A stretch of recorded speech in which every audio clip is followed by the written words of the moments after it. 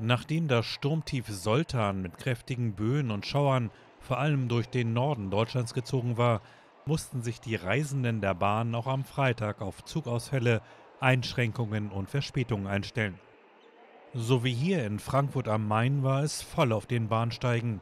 Viele fahren jetzt per Bahn in den Weihnachtsurlaub.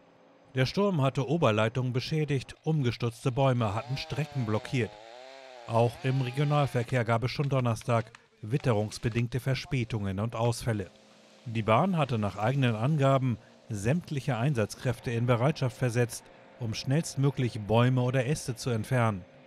Alle Fahrgäste, die ihre für Freitag geplante Reise verschieben möchten, können ihr Ticket auch zu einem späteren Zeitpunkt nutzen.